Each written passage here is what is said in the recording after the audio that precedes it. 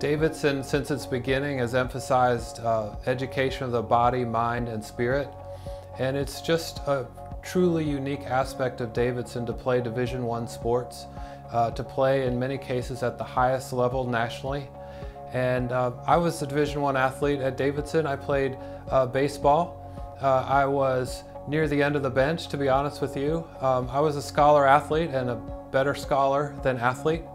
And I, I learned from my, my teammates, some of whom have made their careers in professional baseball and as coaches of some of the largest um, Division One programs in the country. And I'm proud to know them.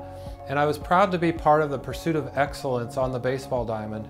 And four hours a day, 24 7 around the year, maybe taking Thanksgiving to uh, Christmas off for baseball. That was an incredible commitment that requires discipline and focus in order to balance that with the classroom.